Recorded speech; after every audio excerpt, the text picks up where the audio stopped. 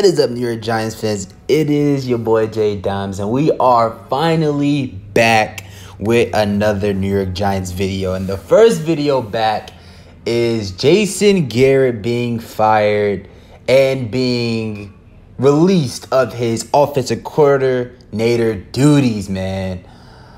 First video back. I I didn't want it to be this. I didn't want it to be negative, but this isn't negative. This is a positive. I've watched all of the Giants games, even though I've not been making a lot of videos. The football season for me is over, you know. So all the Giants uh, uploads are back for good, and um, we're gonna jump right into it. So we watched that game last night. The game was horrible. The offensive play calling was horrible. That fourth and one that fourth one early on in the game where he, Daniel Jones rolled it out instead of running the ball on fourth and one, that blew that that that was the nail in the coffin for the New York Giants. When the Giants wasn't able to, you know, get a first down on that play, that's when I think we all knew that this game was out of hand. This game was going to be a tally mark in the loss column because we saw how Tom Brady just diced at the defense last night, and we needed our offense to come out there and put on points on the board and they walked out of Tampa Bay with 10 points. 10 points. It is too many times, and it has been too many times that we have had to suffer from Jason Garrett's play call.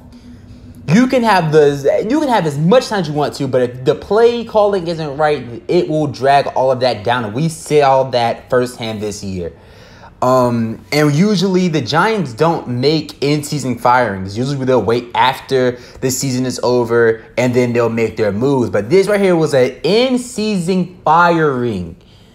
And now we get to see Freddie Kitchens be interim offensive coordinator. And we saw what his play calling was like. It was much different, more pushing the ball down the field um, last year versus the Cleveland Browns, though we did not have um, Daniel Jones at quarterback it was a pretty decent play called game from Freddie Kitchens. And um, when Freddie Kitchens was the interim head coach after uh, the former uh, Hue Jackson was fired out to Cleveland, out of Cleveland, Baker Mayfield was a better quarterback. The stats show that there was a better quarterback from week 9 to week 17. He was a much better quarterback after Freddie Kitchens was calling plays as the interim head coach. So I'm excited to see how the Giants look um, with Jason Garrett just not here.